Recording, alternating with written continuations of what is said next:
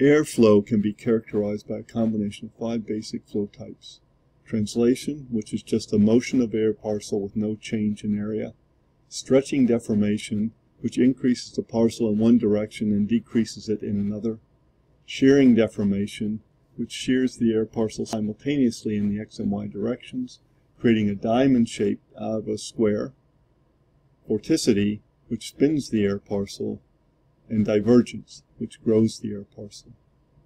The last four types can be represented by combinations of the partial derivatives of horizontal velocities u and v with respect to horizontal directions x and y.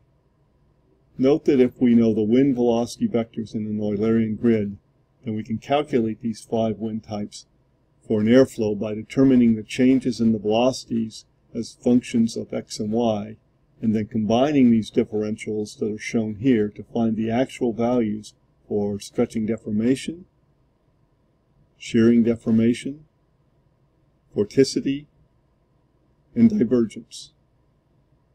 The units for all of these motion types is per second, which is a frequency. In the figures I have shown only those transformations that are positive. Negative translation goes to the left.